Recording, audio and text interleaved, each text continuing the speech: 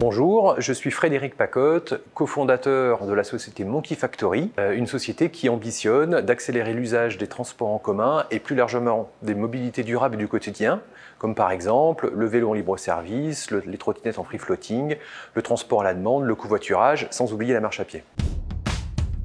Notre concept, c'est de simplifier, de faciliter l'accès à l'information et au pass mobilité. Comment Tout d'abord au travers d'une application mobile grand public, MyBus. C'est une application qui aujourd'hui couvre quasiment 400 réseaux de transport partout en France, dont 120 avec une offre de titres de transport sur smartphone. C'est par exemple MTK, e ou Ticket SMS.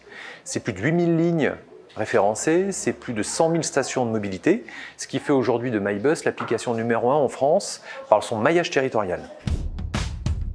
MyBus, c'est notre vitrine technologique, celle qui montre la voie vers un concept novateur en matière de politique de mobilité, le MAS. MAS pour Mobilité as a Service, autrement dit la mobilité servicielle. Le MAS place le citoyen au cœur d'une stratégie de mobilité.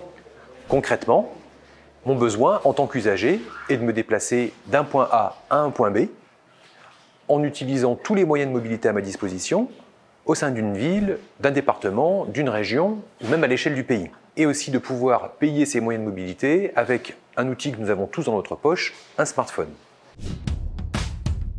La technologie sous-jacente que nous mettons en œuvre au travers de notre vitrine MyBus s'appelle Massify, un service que nous déployons en marque blanche auprès des collectivités territoriales et des exploitants de leurs services de mobilité.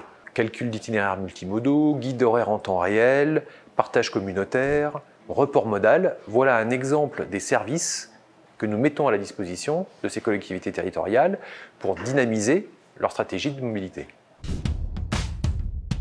Notre ambition est double. Tout d'abord, convaincre un nombre grandissant d'usagers d'adopter des moyens de déplacement vertueux. Et deuxièmement, accompagner un maximum de collectivités territoriales dans leur stratégie de mobilité durable.